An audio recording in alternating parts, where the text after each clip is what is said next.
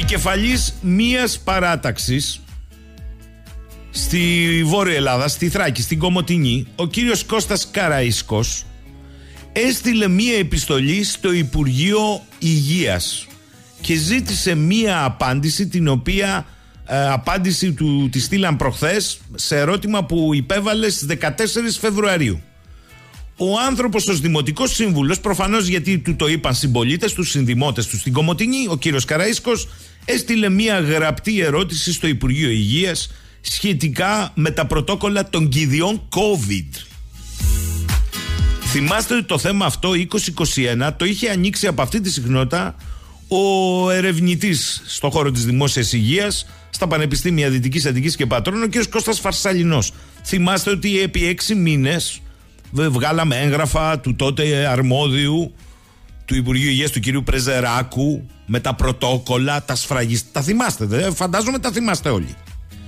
Λοιπόν, ο Δημοτικός Σύμβουλος έστειλε το Φεβρουάριο το εξής ερώτημα.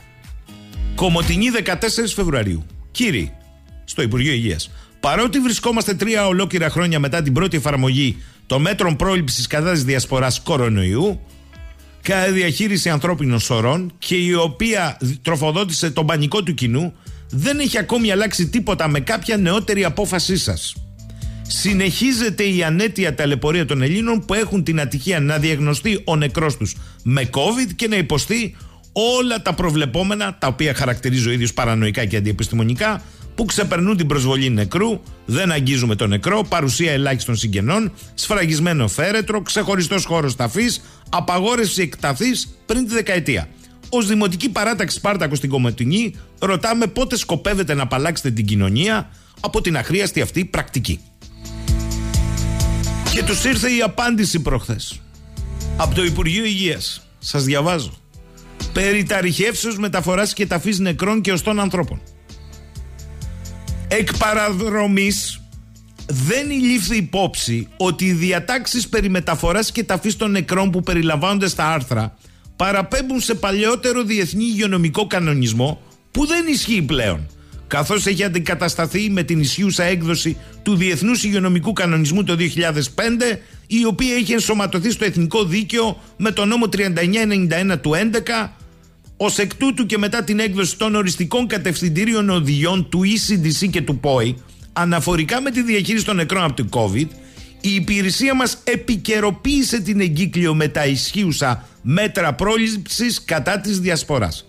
Με την ανωτέρω εγκύκλιο προβλέπεται ότι θανόντες από λίμωξη COVID-19 κυδεύονται, κρατιέστε, σύμφωνα με το εθιμοτυπικό τηρουμένων των ισχυσιών διατάξεων τήρησης αποστάσεων μεταξύ των παρευρισκόμενων, χρήσης μάσκας και λοιπόν μέτρων προστασίας της δημόσιας υγείας. Δεν προβλέπεται ειδικό τμήμα του κημητηρίου για τον ενταφιασμό θανόντων. Ο ενταφιασμός τους γίνεται όπως των θανόντων από οποιοδήποτε άλλο αίτιο, δηλαδή στους υπάρχοντες χώρους ταφής όλων των κημητηρίων, μετά την ενδεδειγμένη φροντίδα της ορού και την τοποθέτηση σε φέρετρο όπως αναφέρεται στην Οσάνο εγκύκλιο.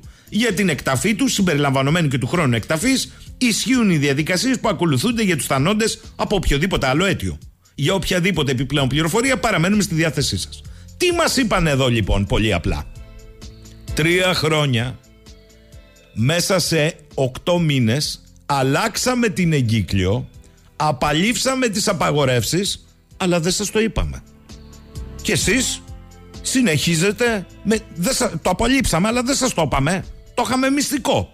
Και συνεχιζότανε αυτό το τουρλουμπούκι στα κημητήρια. Σοβαρά. Καλημερίζω τον κύριο Φαρσαλινό. Καλημέρα κύριε Φαρσαλινέ. Καλημέρα κύριε Σαχίνη, καλημέρα και Σοκρότε. Ε, νομίζω ότι σήμερα είναι η μέρα σας και θα το πω γιατί. Γιατί αυτή την ιστορία την ξεκινήσατε εσείς από τον Απρίλιο του 20. Τη συνεχίσατε. Θυμάμαι τον Οκτώβριο 18 Δεκεμβρίου είχαμε την εκπομπή σας κύριε Σαχίνη την ε, τηλεοπτική όπου παρουσιάσαμε και έγγραφα και ποιες είναι οι οδηγίες διεθνώς και από το Ευρωπαϊκό Κέντρο Ελέγχων Οσημάτων και θα πούμε και για αυτά τα οποία λέει υποτίθεται το Υπουργείο τη διόρθωσε, διότι δεν είναι και ακριβώς έτσι όπως τα λέει. Ναι, αλλά μισό λεπτό να ξεκαθαρίσουμε κάτι. Ναι, ναι. Κάνει μια διόρθωση όπως το λέει στην ναι. απάντηση στο Δημοτικό Σύμβουλο της Κομωτινής, τον κύριο Καραΐσκο, 8 μήνες μετά. Σωστά. Μάλιστα. Παρόλα αυτά, επικοινωνιακά συνεχίζεται ο καταιγισμός και ο βομβαρδισμός πώς θα κυδεύουμε τους ανθρώπους που χάσαμε από COVID; Σωστά. Ε, αυτό με συγχωρείτε, δεν είναι εξαπάτηση. Ακριβώς. Είναι εξαπάτηση και είναι, ε, κατά τη γνώμη μου, μια ξεκάθαρη προσπάθεια ε, τρομοκράτησης, όπως ήταν και πάρα πολλά άλλα πράγματα στη διάρκεια του COVID. Αλλά και αυτό το οποίο χαρακτηρίζει ως διόρθωση του Υπουργείου δεν είναι ακριβώς διόρθωση και θα σας πω γιατί. Ναι, ναι. Καταρχάς να τα πάρουμε από την αρχή για να θυμηθούν και οι ακροατές. Στις 7 Μαου του 2020 προέκυψε η οδηγία που αναφέρεται πιο πριν του κυρίου Πρεζεράκου, τότε Γενικού Γραμματέα Δημόσιας Υγείας, mm. του Υπουργείου Υγείας, το οποίο αναφέρει ξεκάθαρα δύο φορές ότι το φέρετρο θανόντων από λίμωξη COVID-19 πρέπει να είναι σφραγισμένο και δεν ανοίγει επουδενής στο πλαίσιο της εξόδιας ακολουθία. Ούτε εκτίθεται κατά τη διάρκεια της επικίδιου τελετής του συγγενείς. Ξεκάθαρο. Το γράφει μάλιστα στη σελίδα 4 της εγκυκλίου δύο φορές. Το επαναλαμβάνει κιόλας από κάτω. Αυτό ήταν και η αρχή με βάση την οποία όλοι πήγαιναν με σφραγισμένα σώματα σε σακούλα, με σφραγισμένα φέρετρα και με τους αστροναύτες τους λεγόμενους, ξέρετε, με τον πλήρη εξοπλισμό προστασίας να ε, μεταφέρουν το φέρετρο. Στη συνέχεια προέκυψε στις 11, και έχω τα έγγραφα μπροστά μου τώρα και δεν γι' αυτό, ναι, ναι, ναι, 11 Δωδεκάτου του 2020, προσέξτε, μια εβδομάδα πριν την εκπομπή σας, όπου αναφέρεται αυτό το οποίο δόθηκε και ως απάντηση στον κύριο Καραΐσκο, είναι κοινός φίλος, ότι οι θανόντες από λίμωξη COVID-19 κυδεύονται λέει σύμφωνα με το εθιμοτυπικό. Προσέξτε όμως τι λέει τρεις γραμμές πιο κάτω. Λέει ότι σε περίπτωση που η οικογένεια επιθυμεί να δει τον νεκρό δεν πρέπει να τον αγγίξει και να τον, ή να τον ασπαστεί. Δεν λέει όμως πού θα τον δει.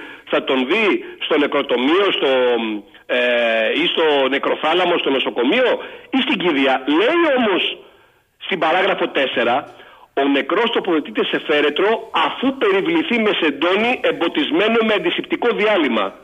Δηλαδή πάλι τη λίγμα λέει, απλά δεν τον βάζει σε διάβροχο σάκο.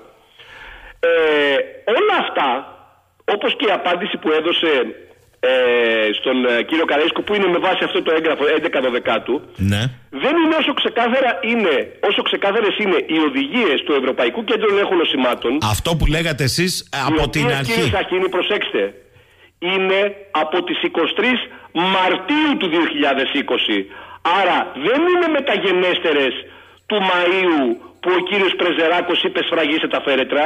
Είναι προγενέστερες του Μαΐου και δεν έχουν αλλάξει μέχρι και σήμερα. Δηλαδή και σήμερα αν πάτε θα βρείτε και το ελληνικό έγγραφο γιατί το Ευρωπαϊκό Κέντρο Ελέγχων Σημάτων τα βγάζει σε όλες τις γλώσσες το οποίο λέει ξεκάθαρα, σας το διαβάζω, έτσι, το εξής. Εάν πρόσωπα που δεν είναι εκπαιδευμένα στην τήρηση των βασικών προφυλάξεων, όπως οικογένεια, συγγενείς, θρησκευτική λειτουργή, πρόκειται να συμμετάχουν στις τελευταίες διαδικασίες αγγίζοντας το σωρό, έτσι, θα πρέπει να έχουν διαθέσιμα μέτρα ατομικής προστασίας.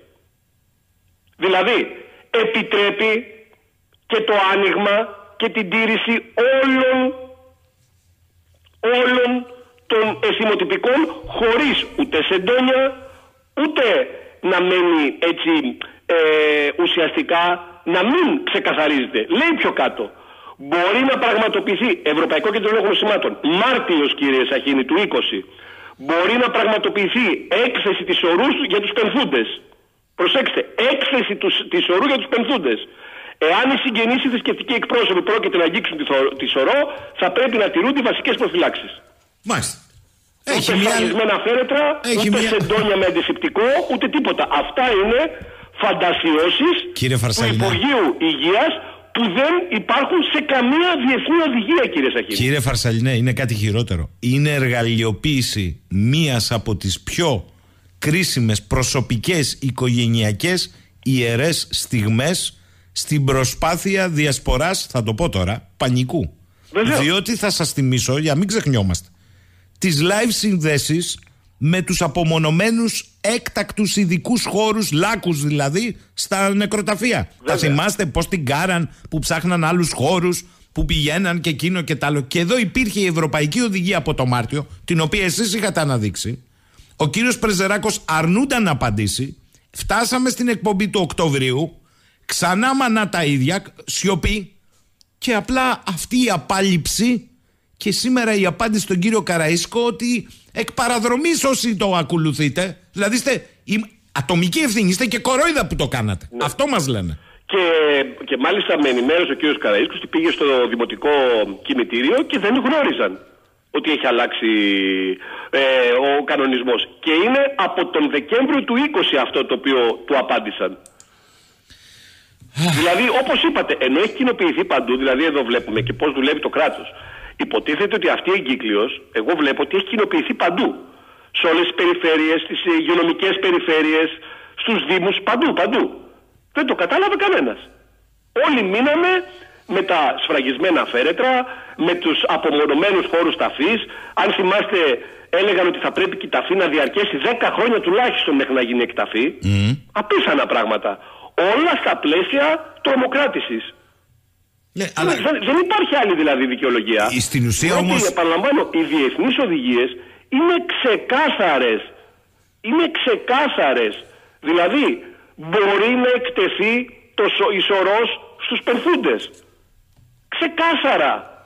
Και ξέρετε όμως, κύριε Φαρσαλινέ, οκτώ μήνες μετά αυτή η επικαιροποίηση, όπως την βαφτίζουν απαντώντας τον κύριο Καραΐσκο και εκ παραδρομής κτλ., στην ουσία τι συνιστά, εγώ αποποιούμε, δεν έχω καμία ευθύνη. Το έχω διορθώσει όπως ναι, το έχει διορθώσει σόλικα, αλλά εν πάση περιπτώσει έχει κάνει μια διόρθωση. Μια Μα θυμάμαι και τότε με την εκπομπή, εσείς επικοινωνούσατε με το Υπουργείο Υγείας και δεν παίρνατε απάντηση. Μάλιστα η απάντηση είχε βγει με μία απάλληψη εκ παραδρομής κορόιδα ιστόλη. Αν το εφαρμόζετε, πρόβλημά σας. Ναι, και με, και με ψευδή αναφορά ότι μεταγενέστερα άλλαξαν οι οδηγίες. Διότι όλες οι οδηγίες που υπάρχουν διεθνώς είναι προγενέστερες. Και της πρώτης και της διόρθωσης. Άρα εδώ προκύπτουν ε, ζητήματα πια ε, τρία χρόνια μετά, γιατί χθες τελειώσαν οι meth COVID ε, με, ναι, ναι. με επίσημη εισήγηση στου προκύπτουν και άλλα ζητήματα πέρα από τα άλλα που είχαμε αναδείξει τόσο καιρό της διαχείρισης σε ζητήματα δημόσιας υγείας. Ούτε αυτό δηλαδή. Ούτε αυτό. Ελάτε κύριε Σαχίδη, κοιτάξτε. Αυτή τη στιγμή για να πας σε ένα δημόσιο, σε ένα ιδιωτικό νοσοκομείο, σου ζητώνουν το λιγότερο ε, rapid test και σε πολλές περιπτώσεις PCR ακόμα και σε συγγενείς. Μιλούσα τις προάλλες με συνάδελφο που εργάζεται στην Αγγλία, γιατρό, ο οποίος μου είπε ότι οι οδηγίες στο αγγλικό σύστημα υγείας είναι αν θέλετε πριν το ραντεβού σας στο νοσοκομείο κάντε ένα self-test και αν είναι θετικό ε, καλύτερα να ακυρώσετε το ραντεβού σας. Προαιρετικά, προσέξτε, προαιρετικά, δηλαδή ούτε σου ζητάνε το self-test να το, να το φέρεις, ούτε έγγραφο τι έκανες ή δεν έκανες, ούτε τίποτα. Και εδώ μετά από τρία χρόνια συνεχίζουμε την ίδια ιστορία όταν Όλοι όσοι έχουν εμβολιαστεί και βρίσκονταν στα νοσοκομεία και εργάζονταν όλο αυτόν τον καιρό, όταν οι υπόλοιποι ήταν σε αναστολή, έχουν προσβληθεί και έχουν μολυνθεί από τον ιό δύο, τρεις, τέσσερις, πέντε φορές. Κάποιοι σταμάτησαν να το μετράνε κιόλας. Τι να συζητάμε. Και ενώ, όπως είπατε πολύ σωστά, ακόμα και οι μεθ πλέον COVID καταργούνται, ε, οι υγειονομικοί οι οποίοι επέστρεψαν από την αναστολή συνεχίζουν να κάνουν, να κάνουν τεστ. Μάλιστα. Κάθε εβδομάδα. Μα, αλήθεια είναι αυτό. Είναι, το μέτρο συνεχίζεται της εκδικητικότητας. Μιλάμε για υψηλό επίπεδο επιστήμη τώρα, έτσι αντιλαμβάνεστε. Ε, λέει εδώ Δημήτρης από το Ρότερνταμ, καλημέρα. Αυτό που διαβάσατε για το λάθος εκ παραδρομής για τις ταφές ανθρώπων δεν είναι απλώς να τραβάς τα μαλλιά σου, αλλά δεν ξέρω κι εγώ τι. Αν οι συγγενείς αυτών των ανθρώπων δεν κάνουν τα πρέποντα έναντι σε αυτούς τους απαταιώνες, τότε δεν ξέρω ποιος θα αναλάβει την κατάσταση. Και άλλο και άλλος φίλος λέει: Μα κύριε Φαρσαλινέ, καταρχάς λέει συγχαρητήρια για την επιμονή σας, αλλά εγώ θέλω να υπομνήσω κάτι.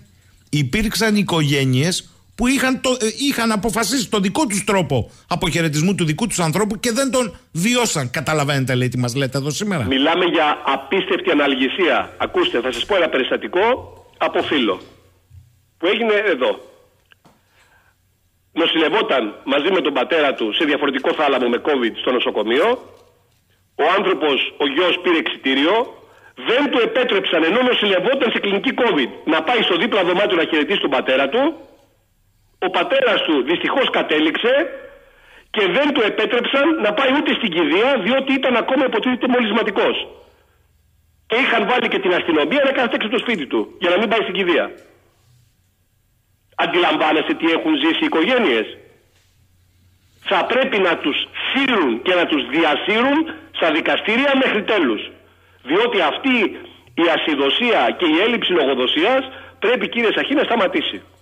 Κοιτάξτε, ε, τώρα το ε, πιάστε τον τάβρο από τα κέρατα, λέει ο Λεωνίδας. Καλημέρα στον αγαπητό κύριο Φαρσαλινό. Δηλαδή και εδώ μας κοροϊδέψαν. Οι οικογένειες καταστραφήκαν, η ψυχική καταστροφή είναι τεράστια. Και, και, και μια αναστρέψιμη, ε. Ναι, βεβαίως και μια αναστρέψιμη. Είναι τελεσίδικα μια αναστρέψιμη.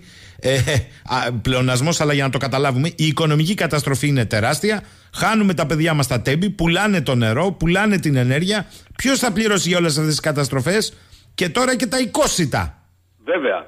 Όλα αυτά είναι στο πλαίσιο που κάποτε τα λέγαμε κύριε Σαχίνη και μας χαρακτήριζαν ψεκασμένους. Τώρα τα χαρακτηρίζουν μέτρα προστασίας βέβαια. Οι ίδιοι ε, επώνυμοι ή ψευδόνυμοι που συμπεριφέρονται ως τρόλ στο διαδίκτυο όταν έλεγες ότι μετά τον έλεγχο της τροφής και της ενέργειας που έχει συμβεί εδώ και χρόνια και βλέπουμε τα αποτελέσματα θα έρθει η σειρά του νερού σε βάφτιζαν συνωμοσιολόγο ψεκασμένο. Σήμερα επικαλούνται το κλίμα, επικαλούνται την προστασία του περιβάλλοντος, επικαλούνται την προστασία από μολυσματικά νοσήματα για τα οικόστα ζώα όπως τη γρήπη των πτηνών.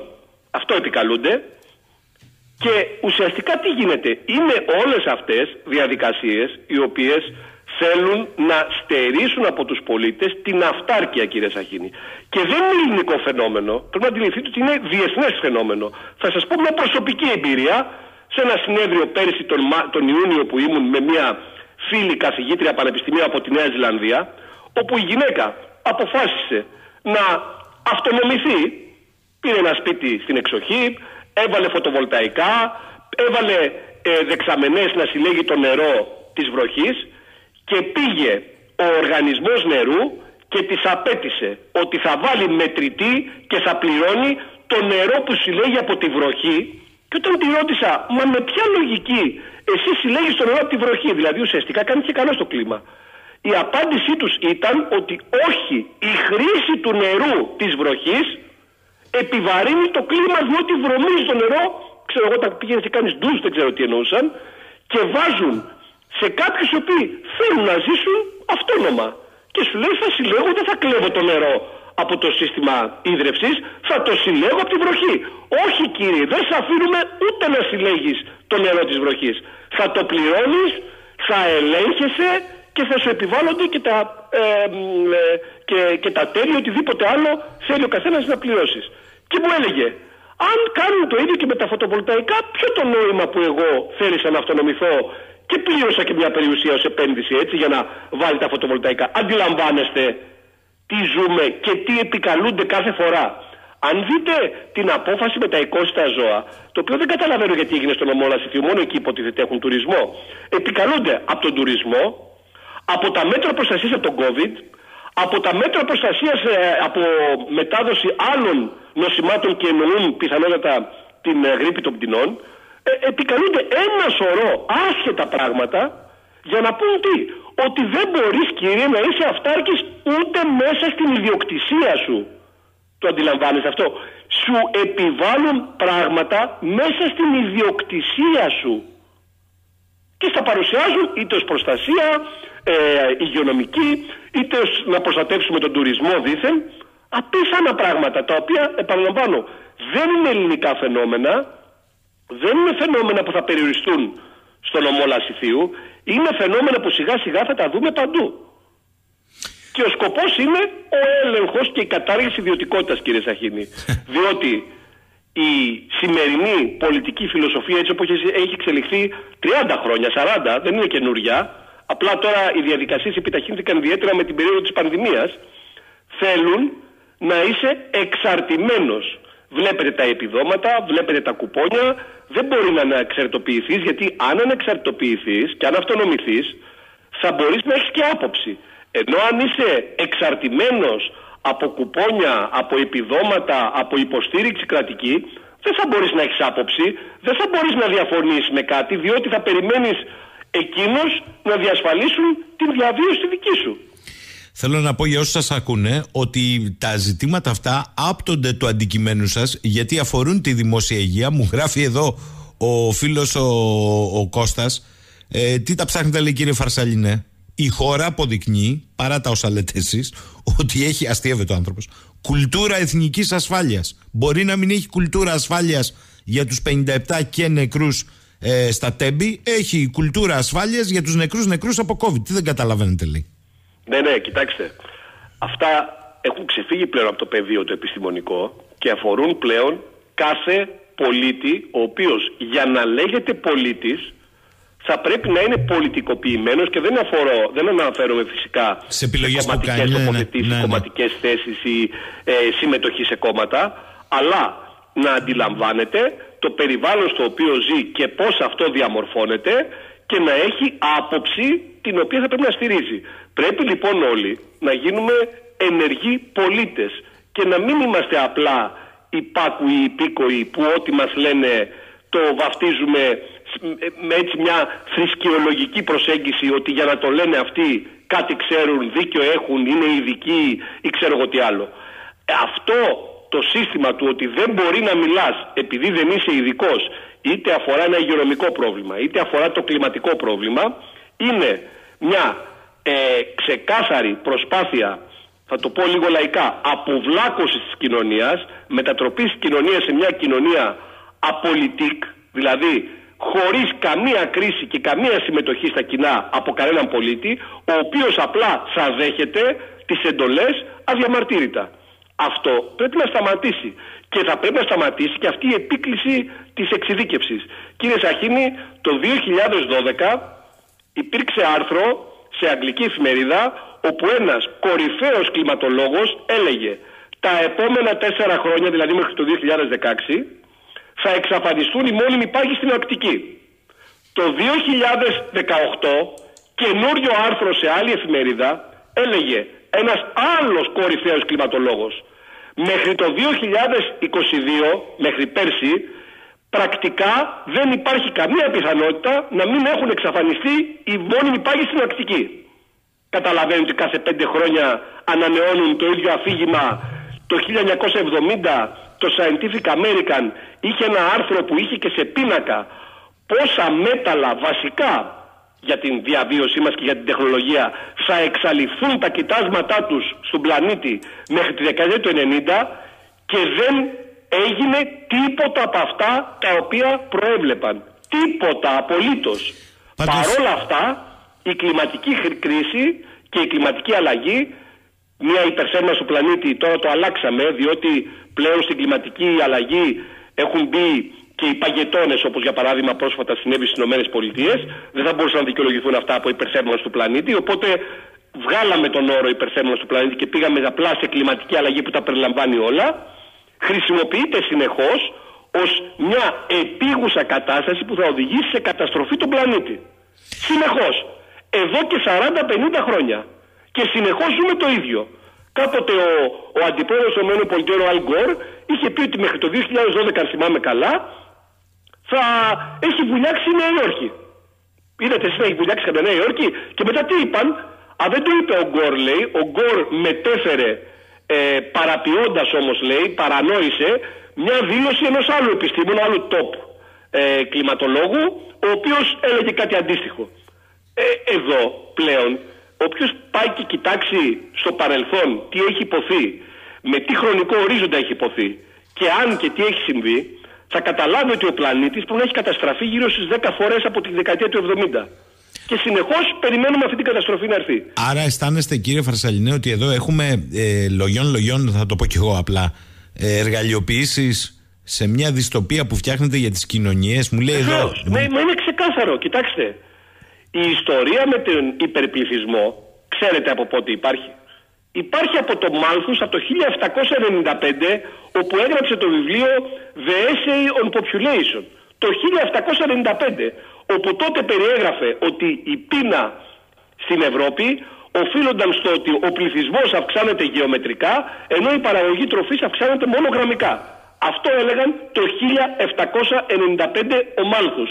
Η γνωστή μαλθουσιανή θεωρία η οποία μετά από 100 χρόνια ε, αυτοαναιρέθηκε διότι η πείνα εξαλείφθηκε στην Ευρώπη χωρίς να μειωθεί ή να μείνει σταθερός ο πληθυσμός διότι πολύ απλά οφείλονταν στη φτώχεια και όχι στην, ε, στην μεγάλη ιδιόγκωση του πληθυσμού. Και στην ε, τότε, ανα, ανισοκατανομή των πόρων. Η θεωρία και χρησιμοποιείται από την ελίτ συνεχώς. Συνεχώς. Και πείτε μου εσείς τώρα, η, ο περιορισμός των των ζώων σε τι ωφελεί αυτό; Εξηγήστε μου. Στον μόνο που ωφελεί είναι το εξής. Να πάμε σε βιομηχανοποιημένη τροφή μόνο, να εξαλείψουμε και την κτηνοτροφία και απορώ πως οι κτηνοτρόφοι δεν έχουν δεν εξηγούνται. Σκουλικό άλευρα. Σωστό. Σκουλικό άλευρα. Δεν είναι το σενάριο ότι η κτηνοτροφία είναι καταστροφή του περιβάλλοντος και ότι ε, έχω δει εκτιμήσεις ότι από το 20% στο 40% των, ε, των ε, ε, αέριων ρήπων οφείλονται στην κτηνοτροφία. Λοιπόν, και απορώ πως δεν εξεγείρονται. Διάβαζα πριν από λίγους μήνες από την Κρήτη ότι το ζωικό κεφάλαιο έχει πτώσει τη τάξη του 50%. Μάλιστα. Και τι κάνουν, στέλνουν μια επιστολή στον Πρωθυπουργό. Μα αυτή είναι αντίδραση. Ειλικρινά πρέπει θεωρώ όλοι να ξυπνήσουμε. Και όσοι σχετίζονται επαγγελματικά με το χώρο αυτό, βλέπετε στην Ολλανδία, δεν τα ακούμε βέβαια, δεν μεταδίδονται από τα μέσα ενημέρωσης. Στην Ολλανδία έγιναν εκλογές και κέρδισε σε κάτι περιφερειακές εκλογές, δεν ξέρω ακριβώς τι εκλογές. Περιφερειακές είναι, περιφερειακές. Το, το, το αγροτικό κόμμα, το οποίο φτιάχτηκε διότι η Ευρωπαϊκή Ένωση έχει ψηφίσει κάτι νόμους περιορισμού της, του αζότου. Προσέξτε, δεν είναι μόνο το διοξείδιο του άνθρακα, έχουμε και το άζωτο, έχουμε και το μεθάνιο, έχουμε διάφορα. Ε, και η Ολλανδική κυβέρνηση έκλεινε κτηνοτροφικές και αγροτικές μονάδες για να περιορίσει τους, ε, τις εκπομπές αζότου.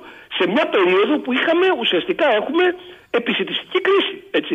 Μια επισητιστική κρίση η οποία είναι τεχνητή ξεκάθαρα κύριε Σαχίνη διότι ούτε είχαμε καμιά κλιματική καταστροφή ή οικολογική καταστροφή στον πλανήτη ούτε είχαμε καμιά πτώση μετεωρίτη πάνω σε ε, αγροτική καλλιεργήσιμη γη ούτε κάτι το οποίο ε, περιόρισε την παραγωγή. Δεν έχουμε κανένα περιορισμό της παραγωγής. Έχουμε τη διάλυση της εφοδιαστικής αλυσίδας λόγω COVID μετά τις κρίσεις ενέργειας οι οποίες φυσικά οδηγούν σε κρίση παραγωγής ξεκάθαρα διότι η, το βιωτικό επίπεδο των πολιτών είναι, πάει παράλληλα με την ε, επάρκεια ενέργειας έτσι, αυτό είναι ξεκάθαρο ε, για δεκαετίες. Και έχουμε λοιπόν μια προσπάθεια να δικαιολογήσουμε την υποβάθμιση του βιωτικού επίπεδου των πολιτών στην Ευρώπη κυρίως και για να το κάνουμε αυτό πρέπει να βρούμε τα προσχώματα. Ποια είναι; Να σώσουμε το κλίμα, να σώσουμε ε, τον κόσμο από τον ε, ε, τρελό Πούτιν. Δεν είμαι φυσικά υπέρ του πολέμου, ξεκάθαρα, έτσι. Αλλά δεν μπορούμε να λέμε ότι ο Πούτιν φταίει για όλα. Φτάσαμε στο σημείο για, τις, για, για αυτά που έγιναν στην Γαλλία και να συγχαρώ και εσάς και την κυρία Δεναξέ για την εξαιρετική κουβέντα που είχατε τις προάλλες. Βγήκαν και είπαν ότι είναι δάκτυλος των ρωσικών μυστικών υπηρεσιών. Καλά, τι άλλο θα ακούσουμε; Καλά, μην Πρέπει επιτέλους, κύριε Σαχίνη, ω πολίτες να ξυπνήσουμε και να ενεργοποιηθούμε. Ακούστε κύριε Φαρσέ. Ό,τι γίνεται και αφορά την καθημερινότητά μας, μας αφορά άμεσα. Πρέπει και οφείλουμε να έχουμε λόγο. Ακούστε κύριε Φαρσαλινέ, έχω εδώ βροχή μηνυμάτων. Λέει εδώ ο φίλος ο Βασίλης. Έχει δίκιο ο κύριος Φαρσάλινος. Γιατί ποιος μιλάει σήμερα για την τρύπα του όζοντο. Σχεδόν την έχουν ξεχάσει. Άλλος. Έχει τελειώσει αυτό, ναι. ναι Άλλος. Δεν είναι τυχαία αυτά που γίνονται αρξάμενοι από την Κρήτη εν ώψη του Πάσχα. Λέτε να σου βλύσετε, λέει, ή να τα κάνετε αυτά τα κοτόπουλα αντί για αρνή. Άλλος φίλος στέλνει μήνυμα, προσέξτε αυτό, σε σχέση με το θέμα, ε, το κύριο. Και μάλιστα είναι και συμπατριώτης. Είναι από τη Λαμία, κύριε Φαρσάλινε. Λέει, ναι. αυτοί που κυδεύτηκαν και θαύτηκαν με σάκους αεροστεγός εκ παραδρομής πρωτοκόλλου. Μετά από τέσσερα χρόνια κατά την εκταφή, μπορεί να μας πει λέει ο ερευνητής δημόσιας υγείας, τι ωστά θα παραλάβουν οι οικοί τους, καθώς ξέρουμε ότι το πλαστικό δεν λιώνει εύκολα. Ναι, ε, νομίζω ότι ε, κάπου το είχα ψάξει τότε. Ε, τότε, όταν πρωτοκινήθηκε το θέμα του 2020 και βρήκα ότι δεν θα, υπήρχε, δεν θα υπάρχει ιδιαίτερο πρόβλημα. Παρ' όλα αυτά, το ζήτημα παραμένει ότι είναι μια προσβολή και απέναντι στο νεκρό και απέναντι στην οικογένεια και είναι μια βλάβη όπως είπαμε και συμφωνήσατε κι εσείς η οποία είναι μη αναστρέψιμη, δεν διορθώνεται. Γι' αυτό συστήνω όπως σύστησα και τότε όλοι να απευθυνθούν στη δικαιοσύνη. Θεωρείτε ότι... πρέπει κάποιοι να πληρώσουν. Θεωρείτε ότι ανοίγει... Δεν μπορεί να παίρνεις αποφάσεις που αφορούν χιλιάδες κόσμο, να προκαλείς τέτοιες μη αναστρέψιμες βλάβες και να παραμένεις στο απειρόβλητο. Θεωρείτε ότι υπάρχει νομικό έδαφος πια χοντρό, έτσι; Δεν πιστεύω. Δεν είμαι νομικός βέβαια, αυτά θα πρέπει να τα συζητήσουμε με ένα δικηγόρο, αλλά πιστεύω ότι υπάρχει. Ναι, όταν είναι ξεκάθαρες όλες οι διεθνείς οδηγίες και μάλιστα προγενέστερες των αποφάσεων του Υπουργείου Υγείας θα πρέπει να μας εξηγήσουν για ποιο λόγο παρέκλεινε των οδηγιών αυτών του Υπουργείου Υγείας. Μα εδώ ακόμα και ο ΔΗ κύριε Σαχίνη έχει βγάλει οδηγία από τον Απρίλιο του 2020 η οποία είναι σε πλήρη συμφωνία με το Ευρωπαϊκό Κέντρο Ελέγχου Νοσημάτων. Και περιλαμβάνει ακριβώς το, το, το, το, το κομμάτι ότι μπορεί να πραγματοποιηθεί έκθεση της ορού για τους πενθούντες. Ε, λέει εδώ πέρα μια κυρία η οποία υπογράφει στη Θεσσαλονικιά που ζει και σας ακούει από το Ρέθμινο. Λέει καλημέρα λέει.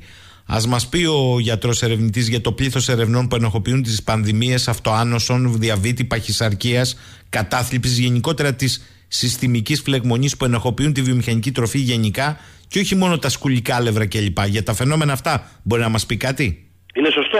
Η βιομηχανοποιημένη τροφή έχει πάρα πολλά σοβαρότατα προβλήματα ε, και ε, υπάρχει, ξέρετε, επειδή είναι ε, ογκόλυθ, είναι γίγαντες οι εταιρείες οι οποίες ασχολούνται με τη βιομηχανοποιημένη τροφή.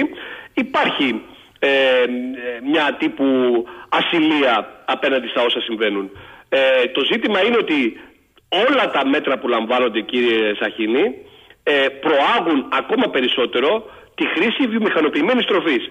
Επιπλέον, εγώ δεν έχω πρόβλημα αν κάποιος θέλει να τρέφεται και με έντομα και με ακρίβειες και με ό,τι άλλο θέλει.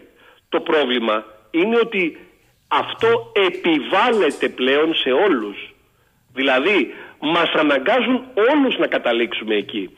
Και φυσικά απο, αποκρύπτοντας την πραγματικότητα διότι όταν σου λένε ότι ναι θα γράφεις ότι η τάδε ουσία εμπεριέχεται για παράδειγμα ως χρωστική ε, μέσα σε ένα τρόφιμο βιομηχανοποιημένο τι πληροφόρηση είναι αυτή για τον πολίτη όταν δεν ξέρει ποια είναι η προέλευση μιας ουσίας, π.χ. καρμίνη, να σας πω ένα παράδειγμα.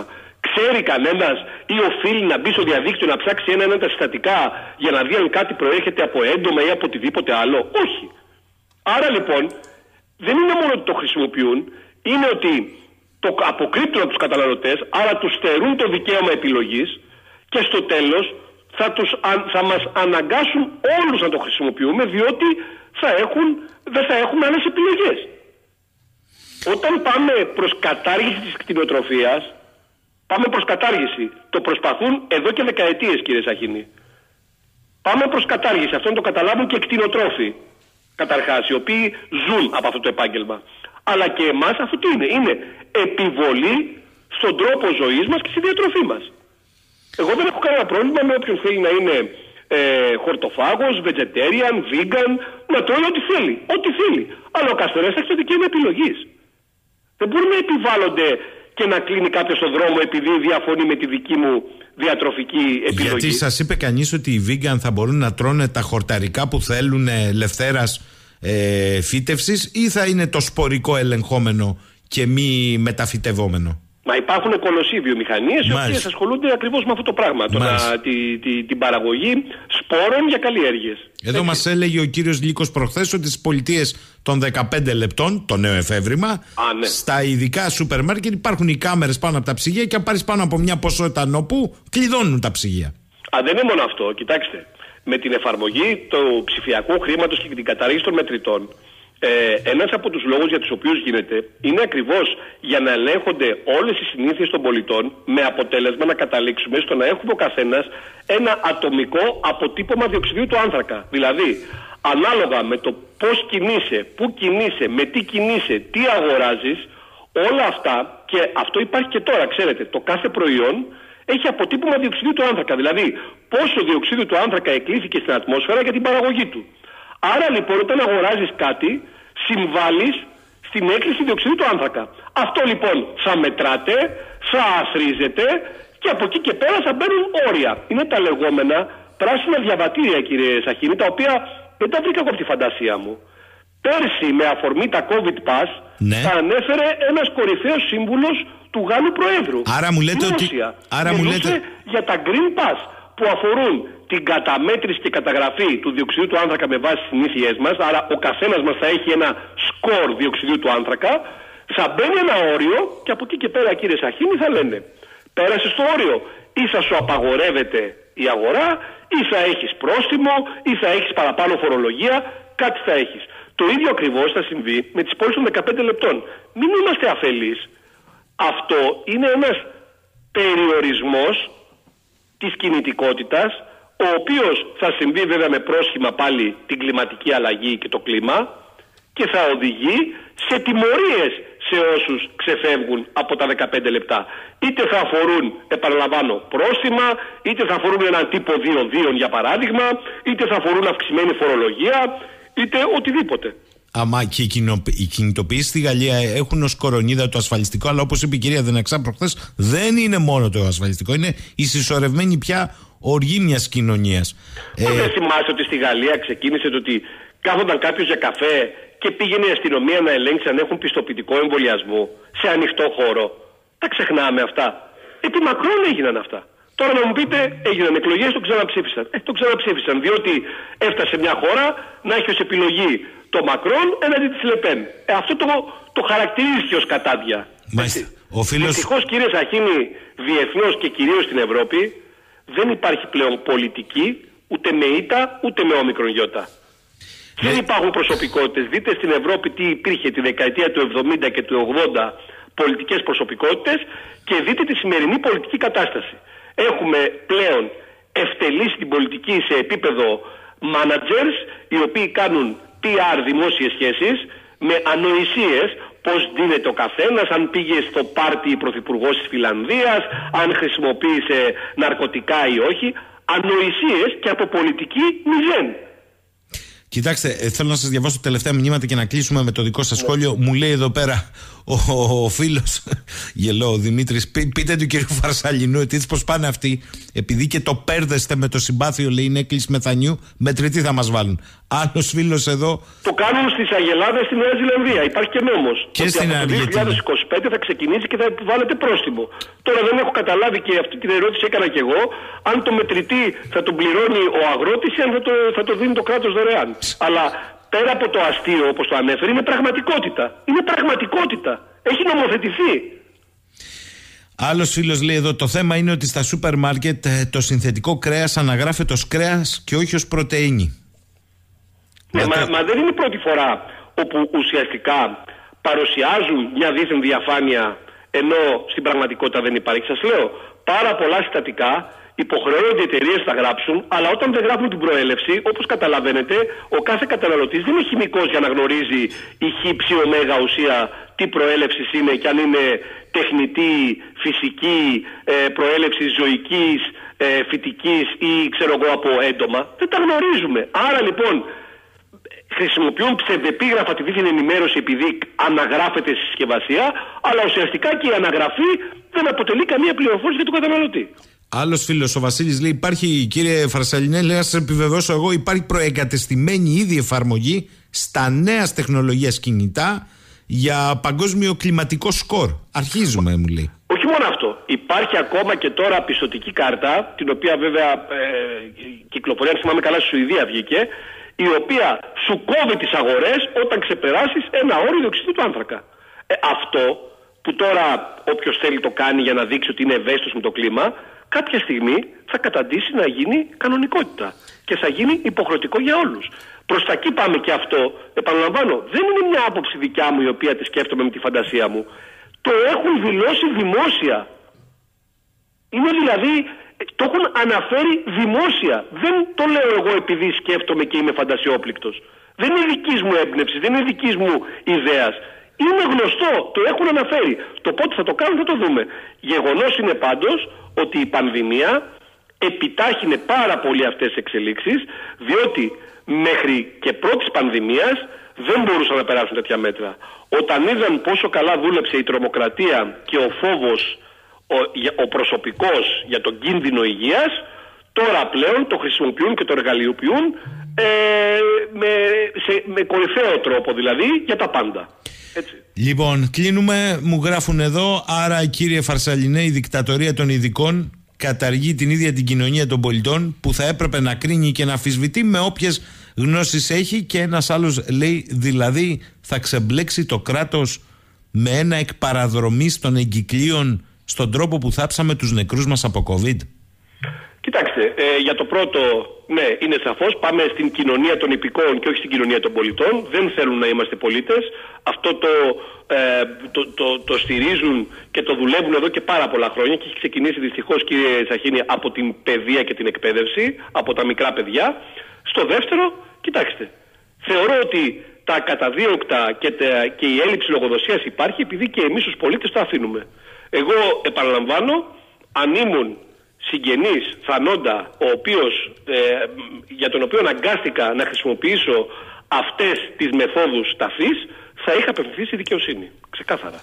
Νομίζω ότι είστε σαφείς. Κύριε Φαρσαλινέ, θέλω να σας ευχαριστήσω. Θέλω να ευχαριστήσω και τον κύριο Καραΐσκο, ναι, ε, ένα δημοτικό σύμβουλο από την Κομωτινή που το κυνήγησε το θέμα και ζήτησε μια έγγραφη απάντηση. Για πάρα πολύ καιρό. Το ξέρω γιατί είμαστε σε επικοινωνία, είμαστε φίλοι και με ενημέρωσε. Μάλιστα. Καλημέρα κύριε Φασαλιά, θα τα ξαναπούμε. Καλημέρα.